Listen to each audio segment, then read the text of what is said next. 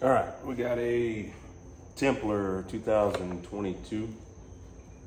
Uh, we're gonna be doing the Nibbi carburetor and adjusting the back shop. So,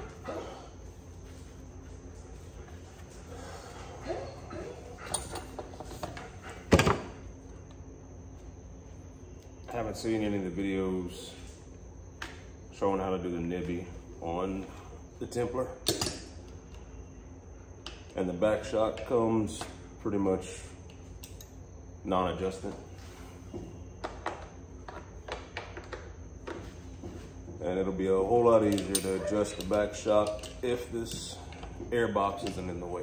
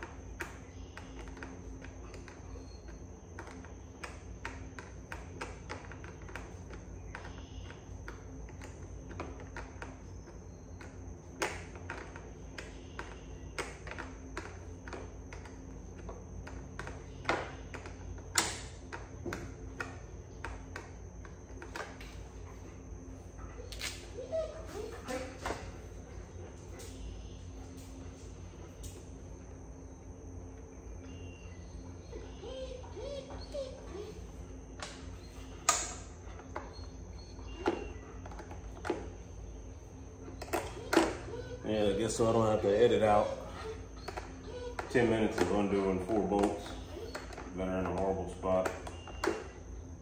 Go ahead and relate to some people about how you end up with a Templar cheap dirt bike, Amazon or whatever you want to call it. It's pretty simple. You get a bonus at work and your wife says, buy yourself something you wouldn't normally get. And you sit on the couch for 15 minutes and find out that they have a dirt bike for under $2,000. Do you need a dirt bike? Nah. Did you want a dirt bike prior to getting on the internet 15 minutes ago? Nah. But you have a bonus and you're the type of guy that when you need something, you buy it anyways. And at no other point in time would you buy a dirt bike, except for if you had a few grand to spend on something that you wouldn't normally spend it on. And then you end up with a Chinese dirt bike. Truth be told, it's really not that bad.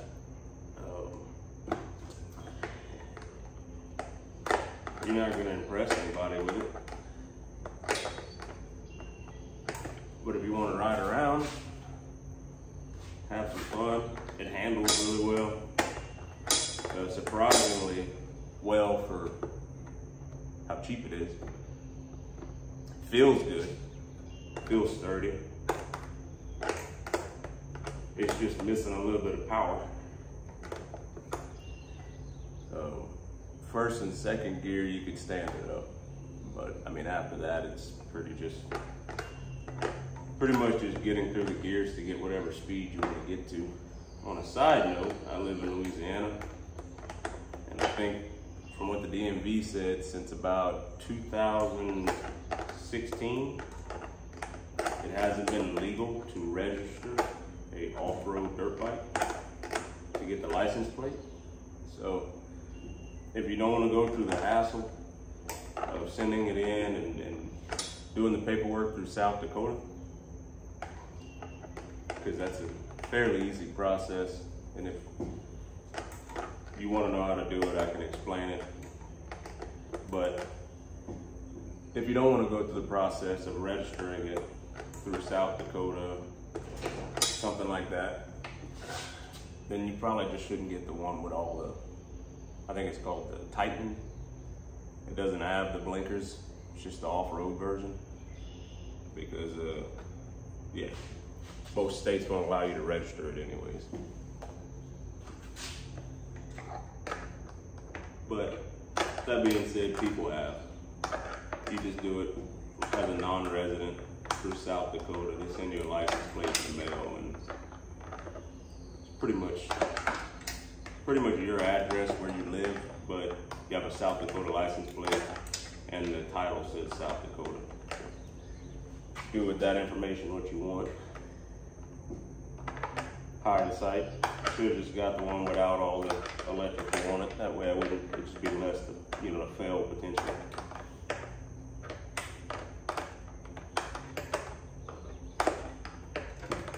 Anyways,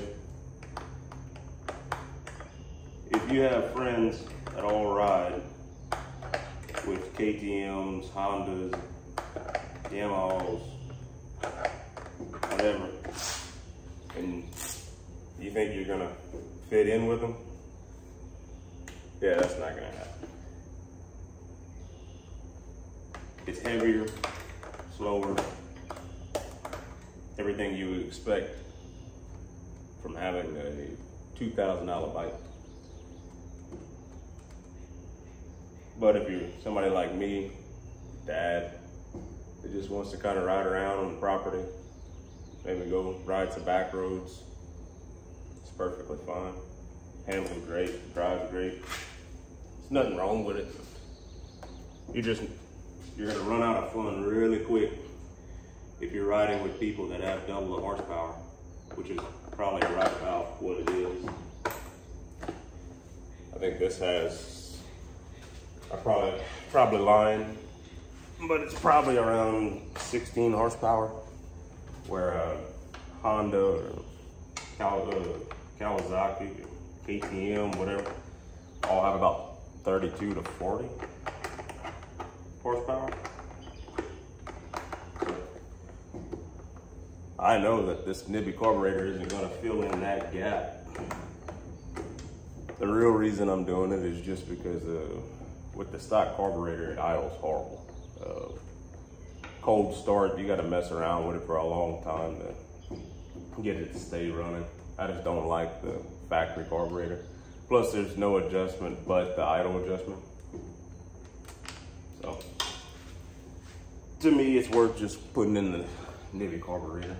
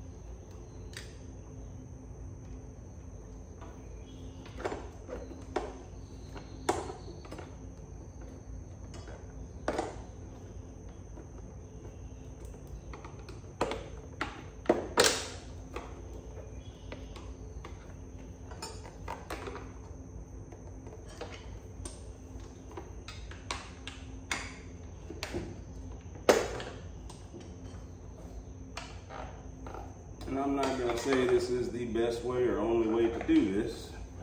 I'm just trying to use common sense to guide me.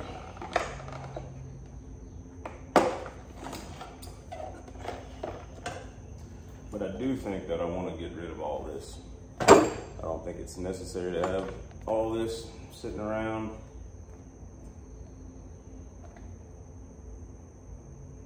if you're not gonna be using it. So if you look uh, now, the shock is extremely accessible. So I would say whenever you want to do your shock adjustment, because I've made a couple rounds here, it came all the way up.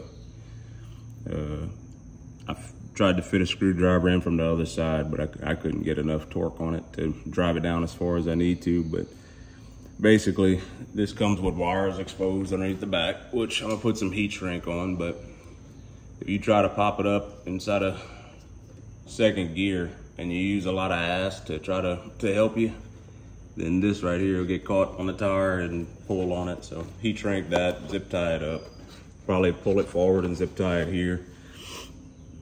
Once you take this off to do this, that's whenever you want to adjust your shock. You got plenty of adjustment, but I weigh about 220. So this right here, I can bounce on it and put the back tire into the fender, especially while I'm riding around. So, and I'm not doing any kind of jumping or anything. So mainly just want it to stand up and hold my weight.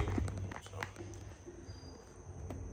I would do all of it at the same time, which is what I'm gonna do right now.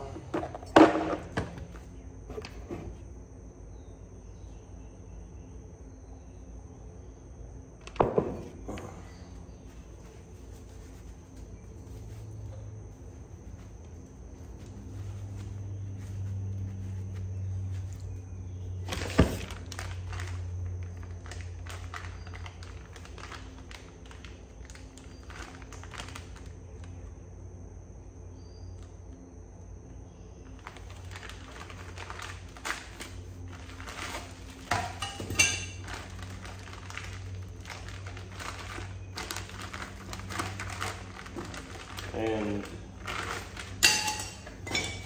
I got these off of eBay, so if any of these fit right, I'm sorry, off of Amazon.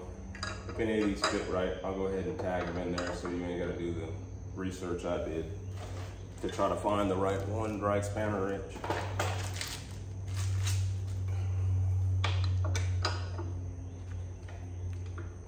Yeah, that works. It seems to be working.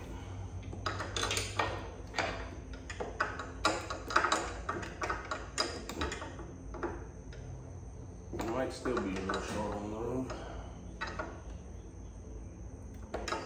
Hmm.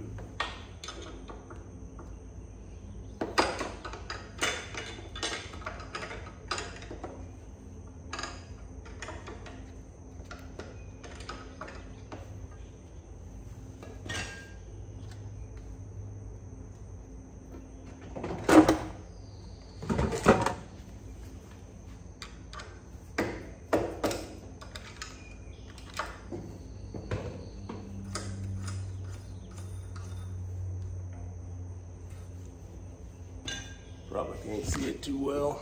Um,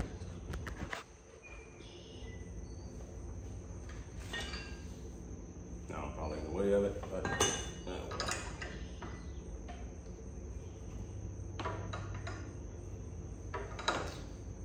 So even with this, let's see what else can I remove?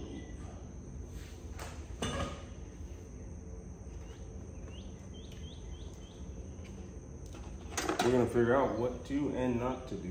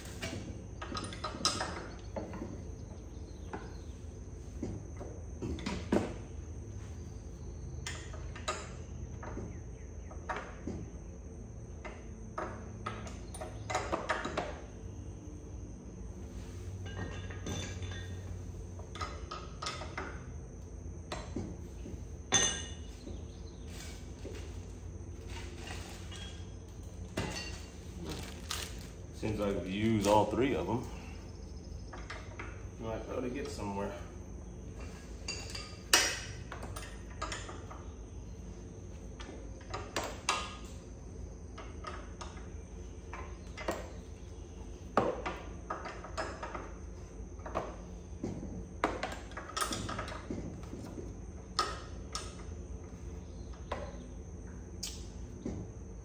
ER 32 and the C32.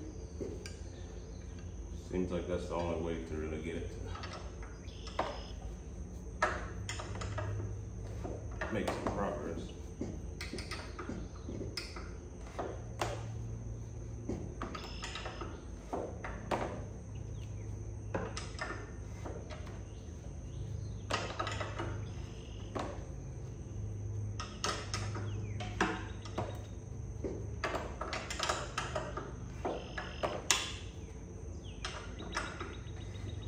But yeah, uh, for size reference, if you're looking to buy one like I was, trying to find somebody to kind of talk about it.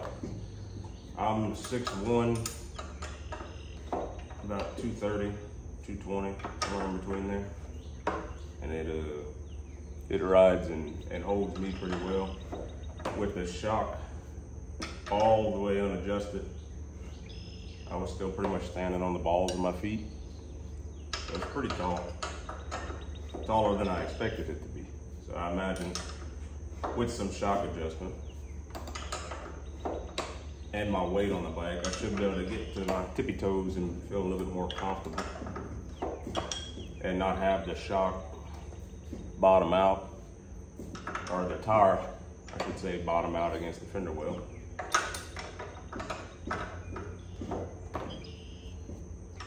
As everybody says, well, I'm gonna ride with sense, you know? I'm not gonna be popping wheelies and cutting corners and fishtailing in the gravel. And then you just realize that that's not gonna happen. You could uh, have your wife riding your year and a half old daughter on the four-wheeler and then you jump on this and start screaming past and doing wheelies and cutting up and fishtailing and throwing grass and tearing up the yard you spent years trying to fix.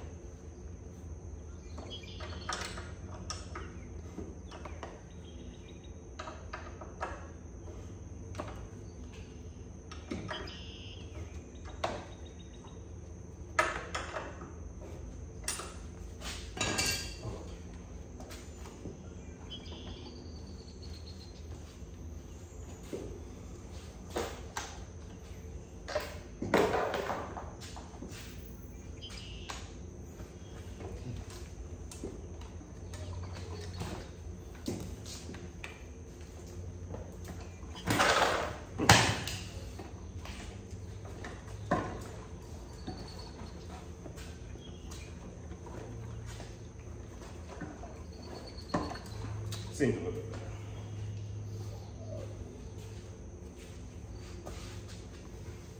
Okay.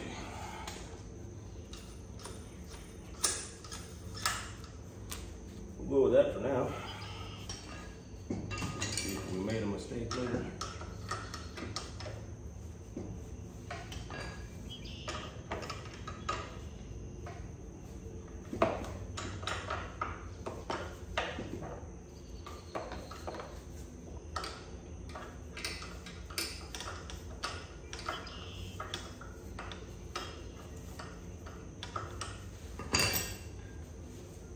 I think this uh, spanner wrench set cost about, I don't know, 18 bucks on Amazon.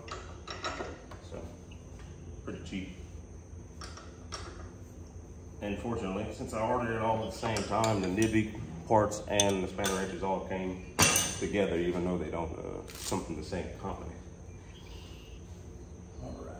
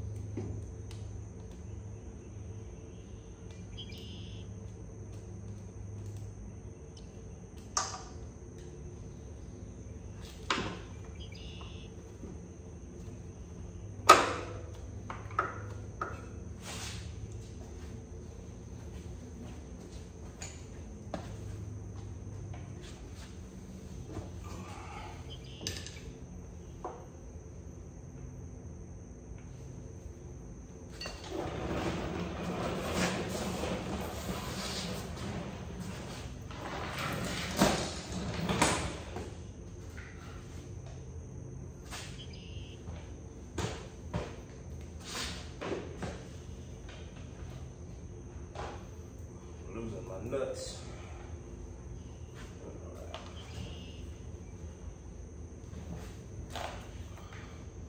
Also, when I got my bike in, there was a little bit of damage to the plastics from the shipping. So I contacted the email from the shipping because I ordered my bike through X-pro from their website. I went on Amazon, seeing that it was an item sold by X-pro.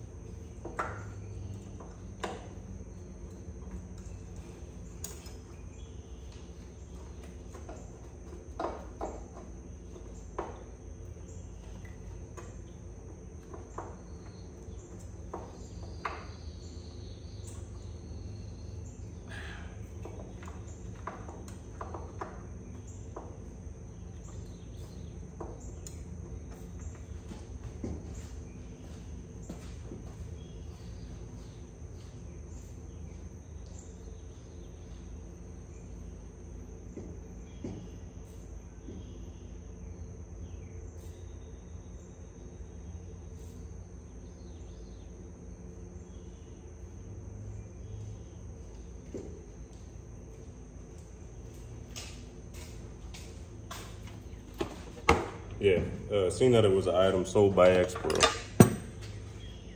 So I just went to X-pro, ordered it through them, and uh, saved some money that way on shipping and on the bike itself. It, uh, it looks like, for what the price it is on X-pro's website, is the same price that it is on Amazon, but the price that it is on Amazon, you still have to pay shipping. And the price that it is on X-pro, you don't have to pay shipping. So if you want to save about 400 bucks, just go to the website. Seems to be a better deal.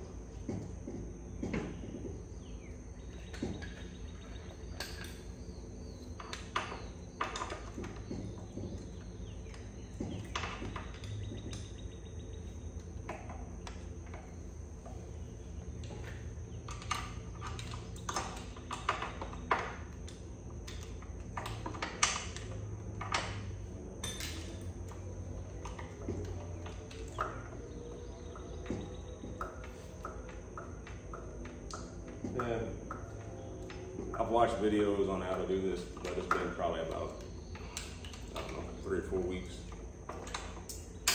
Uh, granted, I've done this my entire life with four-wheelers and motorcycles, so seems pretty straightforward. And I think anybody that's uh, ever tore at least one or two carburetors apart, they could probably do this without having to do this video at all. But some people don't know which parts to order, and I still don't know if the parts I order are the perfectly correct ones. But it just seems like the 32, I think is what it is, is the right one to go with. So that's what this video is about. So either you're gonna watch me fail or succeed, but you get to do it in real time.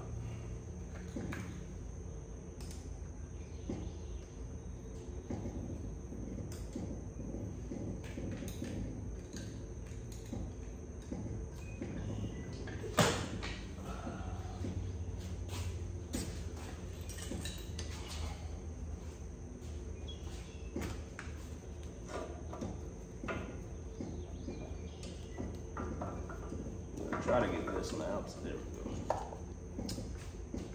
I don't want to leak too much gas all over the place, but I'd rather do it on the outside of the bike. That way I can put a bucket. There we go.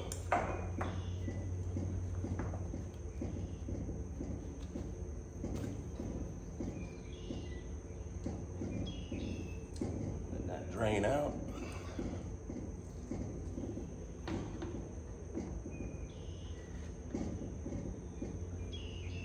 Okay.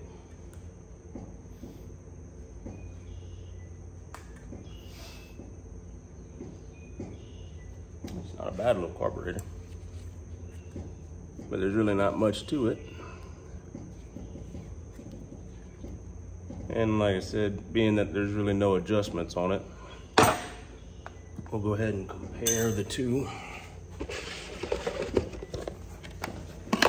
This is gonna be the cold air intake. This was one of the questions I had, but nobody could answer, is if this is gonna make the turn and not rub against the shop. So that's one thing we're gonna figure out. Two, is this port right here is gonna be the manifold mounting bracket that goes against the top end. It has a slight curve. We're gonna see if that fits and see if that is the right diameter to fit on the Nibbi, which all comes together. And finally,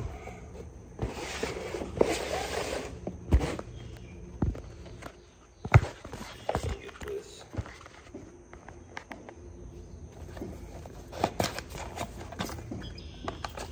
So this comes with a little manual, which it's got some specs and stuff on it, but it's pretty much useless. Uh, got some different ports, high speed, low speed. And then it comes with some stickers in the bottom, which I'm not gonna use. And that's pretty much the difference. It's pretty much the same size inlet, so don't think you're gonna be getting too much difference. Now the port is a little bit of a different size. It seems like the port that goes to the manifold is the same size. So this is the 32, I believe, which has a 49 millimeter uh, intake. And I'll show you. This looks like it's the same size, so the air filter will fit on the stock one. Air side, the air filter will fit on the Nibbi. And I'm about to see, just to try it, to see if this won't just mount up straight to the inlet that's already on there and maybe you don't need to order the manifold. So let's see.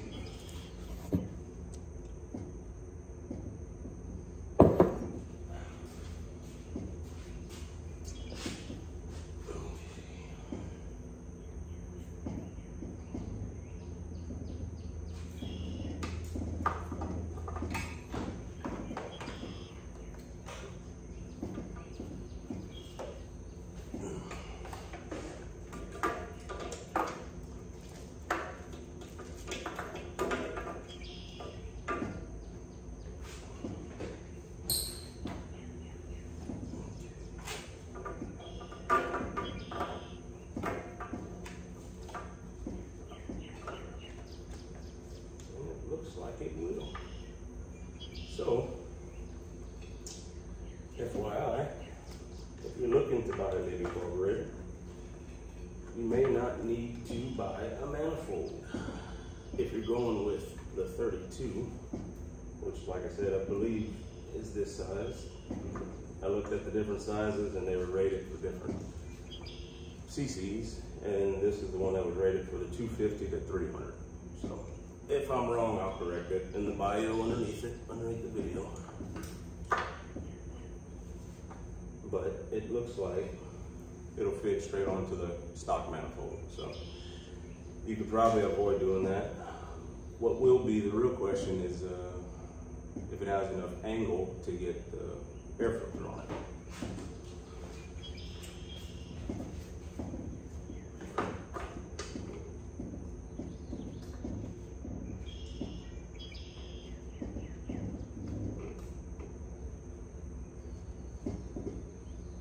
And it looks like it might not.